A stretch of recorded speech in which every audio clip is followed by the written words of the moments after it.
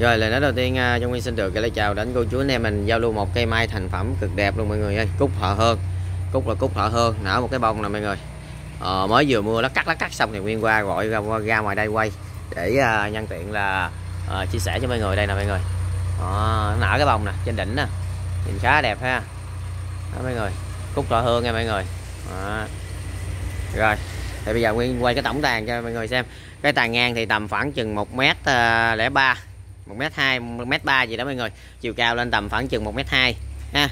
À, hoành thì hoành tầm khoảng 37 38 à, đế nè mọi người đang nằm trong cái chậu sáo. Cây là chơi Tết là 2025 tuyệt vời. Đó mọi người. Dáng là nó hơi nằm lắc lượng và uốn éo lên ha. Đấy, mọi người thấy không? Rồi. Để nguyên quay ra tổng để cho mọi người xem. Đó. cây ôm tùm hết trơn và uốn éo vô dây nè mọi người lắc lượng hết trơn mọi người. Nhìn cây rất là đẹp mọi người. Rồi, những cái thông số đồng nguyên đã um, đưa chi tiết cho cô chú anh em mình này ha. Anh chị anh chị em nào thích uh, cây mai này thì có thể liên hệ với nguyên ha.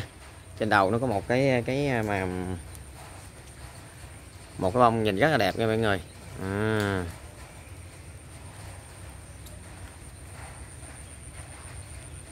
cây um tùm cho mọi người ơi.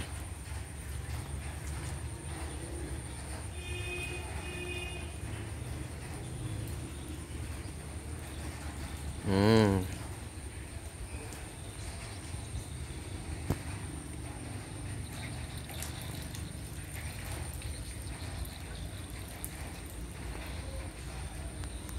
rồi con chú anh chị nào thích thì liên hệ với Nguyên ha. Cây này giờ bông búp là, là ok quá trời mọi người ơi. Đeo nụ rất nhiều luôn rồi. Chơi Tết thì tuyệt vời. Này mọi người. Quá trời luôn. Bây giờ là gai cử là mình cứ chặn đọt lại thôi ha mọi người.